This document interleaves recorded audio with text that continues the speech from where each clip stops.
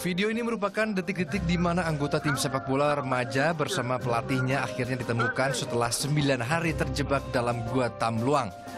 Setelah temukan lokasi tempat 12 tim sepak bola remaja dan pelatihnya terperangkap, upaya evakuasi berlangsung sepanjang selasa waktu setempat. Para petugas tim SAR setempat lebih dulu berupaya untuk berikan makanan dan nutrisi. Kondisi kesehatan para korban jadi prioritas. Sementara metode yang digunakan untuk membawa para korban keluar dari gua adalah berenang dengan menggunakan masker khusus. Upaya lain untuk mempermudah evakuasi seperti proses penyedotan air dari gua dan wilayah sekitar pegunungan juga dilakukan. Proses evakuasi anggota tim sepak bola yang usianya sekitar 11 hingga 16 tahun ini akan dibagi menjadi beberapa kelompok. Merah untuk yang kondisinya paling kritis, kuning untuk level serius, dan hijau untuk yang masih stabil.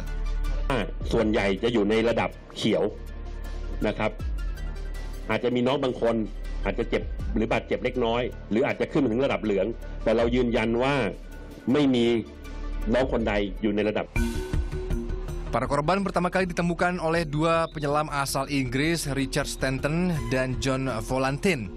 Satu lagi penyelam Robert Charles kemudian ikut serta untuk masuk ke dalam gua di provinsi Chiang Rai tersebut.